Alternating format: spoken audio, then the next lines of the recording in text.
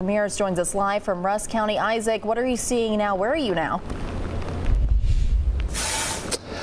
Cynthia, I have been shocked by the amount of trees, limbs down to power lines here in southern Rusk County. Right now, I'm actually at Lake Striker. Lake Striker is between Rusk County and Cherokee County. I'm going to step away. This is the Lake Striker Marina right here, and as you can see, the pier has been blown away. The roof is completely gone. There are boards all in the water right now, just floating. And I actually spoke to someone who works here at the restaurant uh, this morning, and they're saying that yes, that they were shocked when they arrived. They did not expect this. I don't think anyone expected it for this to get out of hand. But this pier right here has been at Lake Striker for decades. I remember uh, being a kid and coming down here and playing on that pier as well. But now it is gone, and uh, residents telling me that um, down the road here from Lake Striker, it actually gets a lot worse. We're going to be heading down there, but we did speak to Tina Dukes with the Laneville Fire Department, telling us that she would appreciate if we told people to please stay put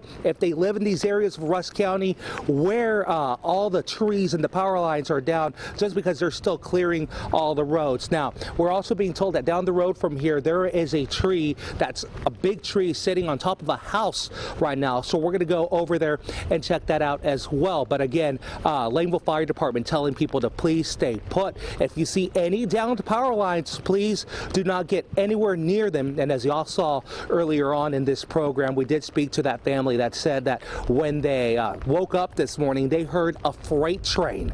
A train is what they described it. And then when they walked outside, that's when they saw the destruction and devastation left behind. But Cynthia, some memories were made here, and unfortunately now this pier is gone, but thankfully so far, no injuries have been reported. Back to you.